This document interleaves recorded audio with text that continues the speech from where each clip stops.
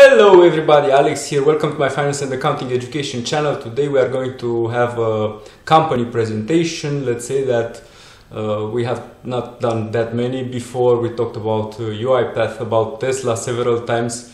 Uh, we talked about the sector. We are going to stay uh, in that sector that we previously uh, spoke about. You can uh, access the um, video about the semiconductors, so the, the processors or integrated circuits or whatever you call them.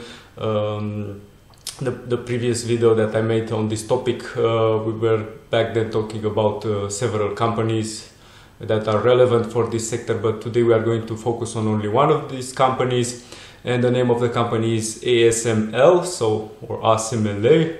It depends. Uh, I'm calling them the overlords of processors, and I hope after today's presentation you will understand uh, why is that and because um, compared with the other three uh, companies that I have already presented to you uh, let's say that this company is so special because it's actually the supplier for all the other three and it's even more special because it's already a monopoly and it has achieved the level of te uh, technological uh, development and innovation that not many companies in any other sectors have achieved so far.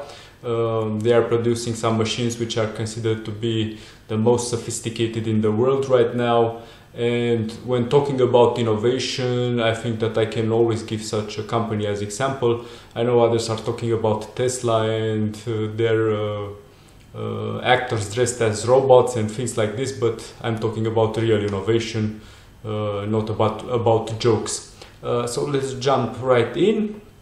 So ASML stands for Advanced Semiconductor Materials Lithography. Uh, so we are talking about semiconductors, it's, it's clear. Uh, it's a European company which functions in the Netherlands. It was founded in uh, 1984, is listed since 1995 on two stock exchanges, uh, uh, actually in, in the Netherlands, in Amsterdam, but also in the United States on the Nasdaq uh, market and it was founded by two European companies, so the ASM International, ASM is quite clear, is the same uh, Advanced Semiconductor Materials, and the other one you might have already heard about it is a large uh, home appliances and electronics uh, manufacturer called Philips, also another European company. Um, what they are actually producing is uh, complex lithography machines uh, that chip makers use to produce integrated circuits or computer chips. Uh, so they are the unique supplier of the most advanced machines that the computer uh, chips manufacturers, not only the computer, but chips in general are using. Um, and I'm saying that given the, uh, the ever expanding usage of semiconductors, uh, their growing presence in all household appliances, uh, think 5G, it's coming, and we might see uh, semiconductors included in refrigerators and washing machines and things like this. Uh, I'm not even going to mention the, the semiconductor shortage, the crisis that we had recently, and I think it's still going on from, from what I see in the news. Uh, so I'm not going to necessarily mention that. It was already mentioned in this video that I have already recommended to you. Um, I think it's it's very hard for anybody to imagine that industry 4.0 so the actual industrial revolution that we are living right now in uh, can be done without semiconductors. Uh, the electronic devices will be more and more present in our uh, lives and uh, i'm not talking only about the uh, mobile phones and computers and cars and so on and so forth but any other type of device electronic device that will be um, let's say developed in the future years will have to to have semiconductors inside it. And i'm saying that not only for this uh, company but for the sector as large. So for all the semiconductors manufacturers the the, the future looks quite, quite bright from my point of view. I'm fascinated by this sector. I'm heavily invested. I took a an, let's say a index fund approach to the sector meaning that i don't know which one will be the winner the, in this competition or if not all of the of the companies will will thrive in such a an environment and I have invested in all of them basically. So this is also like a disclaimer. This is not financial advice. Just I'm just uh, telling you that I'm heavily invested in this sector and I believe in it because I see real uh, innovation here and real potential in, in the years that come. Um, I'm saying that ASML is probably the company that the, the, the most interesting and the largest company that nobody really talks about.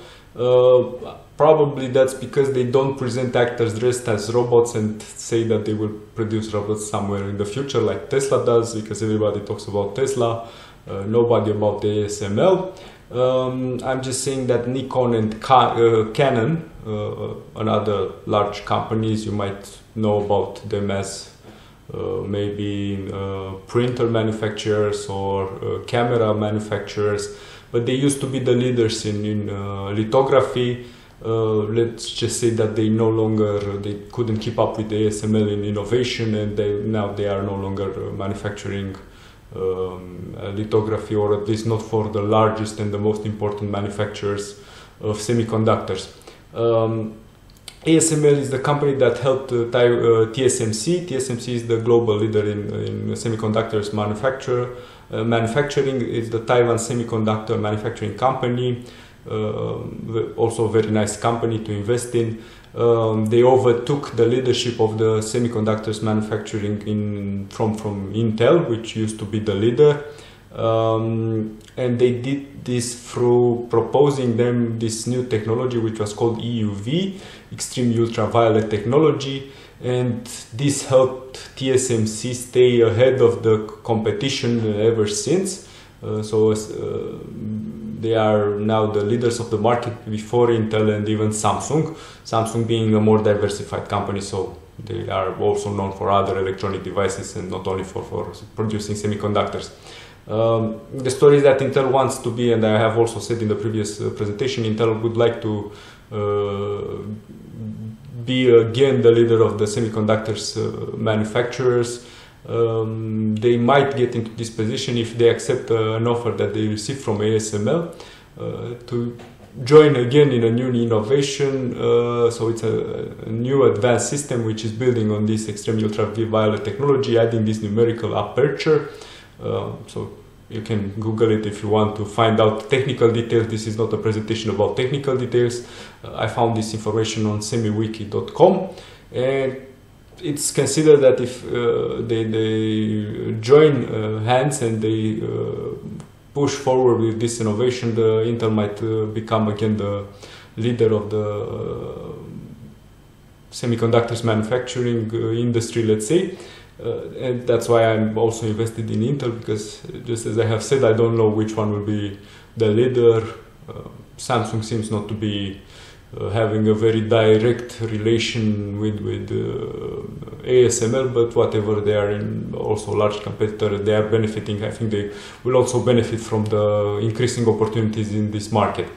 Um, I'm showing you here the, the man is dressed as a robot, uh, the, the, the, ASML version. Actually, there are four uh, engineers or four technicians uh, that they are not really dressed as, a ro as robots, but they need to be appropriately dressed because these factories and uh, they need to be hermetically sealed and absolutely not uh, uh, a little bit of dust needs to come inside these factories.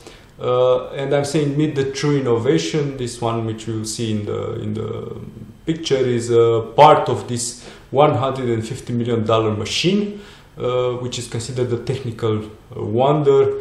Um, due to United States efforts, it will never get exported in China. So it is in Taiwan, but Taiwan is not part of China, or at least not formally uh, and it will never get exported in China and they will never be able to uh, copy it and they will always stay behind in uh, processors manufacturing.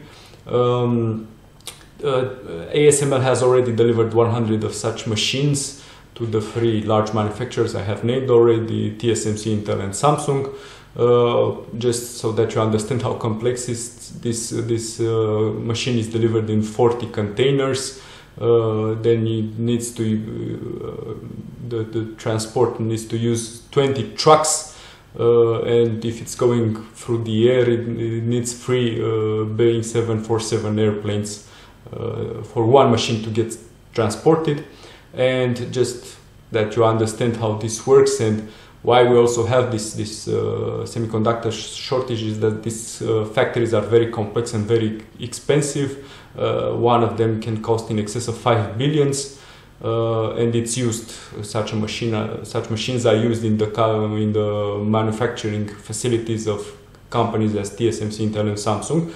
Uh, you can find more details on wired.com and now going to our main business or to the numbers uh, talking about share price investors ratio. So you have here the, the share price uh, since uh, five years ago. You have a compound uh, annual growth rate of 51%. So it's quite clear that the, the shares price is increasing. So a, it was a very good investment in the past. I think it will continue to be a very good investment given the all the details that I have presented you so far. Um, so it started by being uh, 91.73 euros five years ago, and now the yesterday the, the shares were worth 719 euros at the end of the day.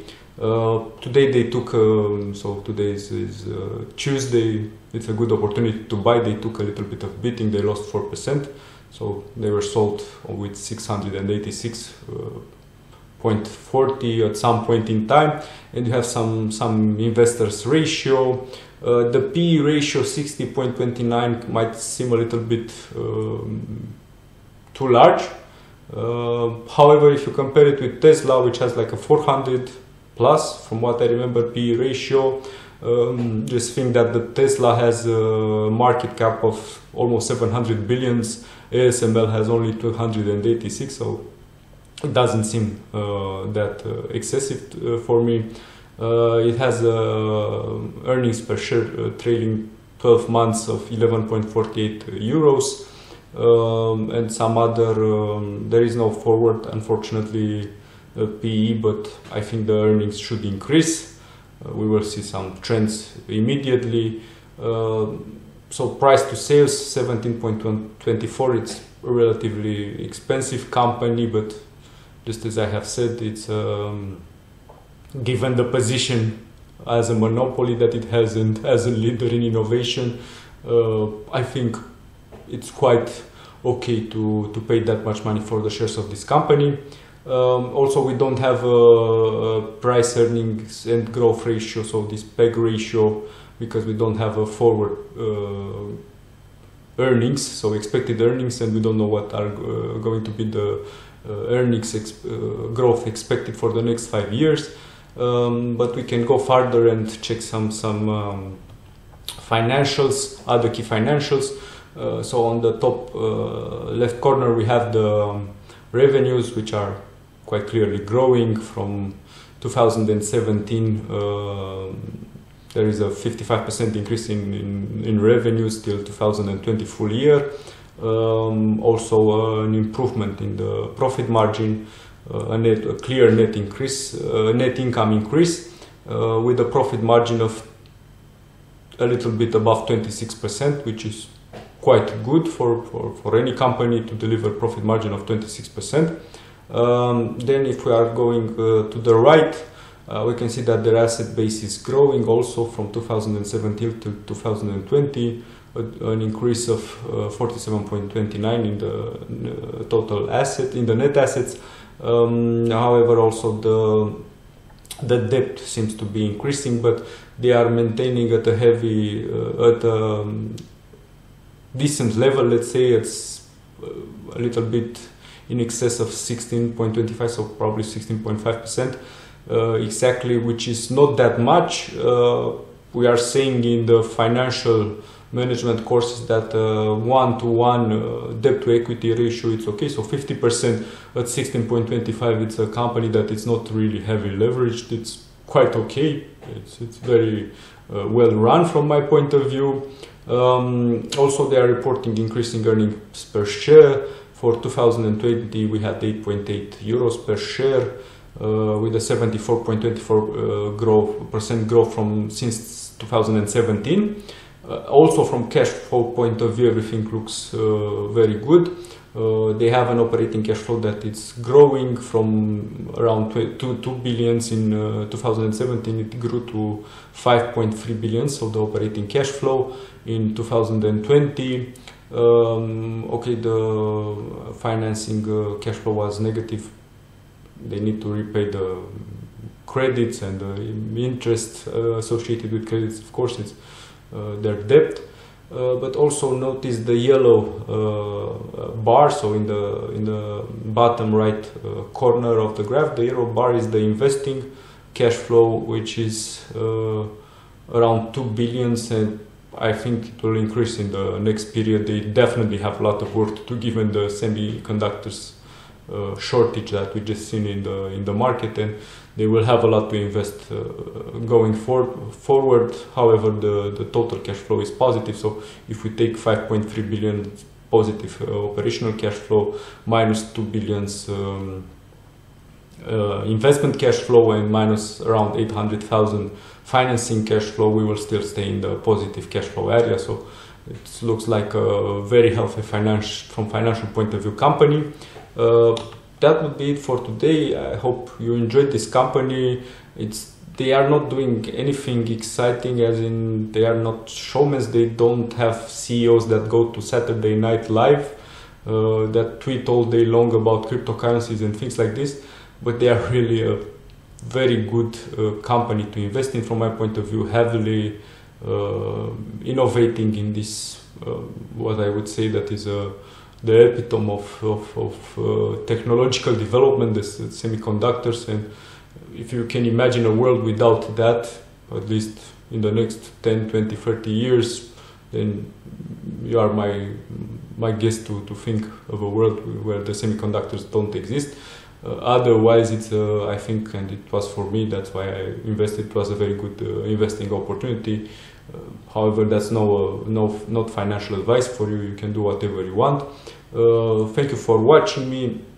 Please do not forget to like my video if you like it, to comment if you have something to add, uh, to share it with somebody that you might think can be interested about the, the topics and this presentation of a company. Uh, also, uh, most important, please do not forget to subscribe to my channel and to hit the bell notification button. You will receive uh, updates wherever I'm posting a video, a new video. Usually I'm posting three times a week um, uh, Tuesdays, Thursdays, and Sundays or Saturdays. It depends. In the weekends, it's a little bit shaky. However, three times a week is a given so far, and I intend to keep to this uh, schedule. Also, below this video, you have uh, several links. You can create a eToro account and trade there without a commission and a fee, uh, which should be very beneficial because no matter how often you are trading, not paying a commission or a fee is a saving. You have also two programs from Amazon, the two free, you can get two free audibles if you like audiobooks or join the Kindle program. I'm also using a Kindle and reading books. It's very practical. And last but not least, there is a, a wish list also from Amazon with um, hardware and software uh, items that can help me improve the quality of my videos. Should you choose to help me this way, it's probably the most inconvenient for you, but it will be also very much appreciated.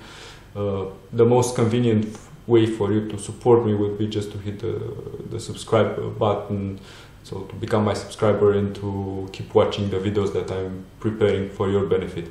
Uh, once again, my name is Alex Petrescu. Thank you for watching me and I look forward to presenting to you next time. Goodbye!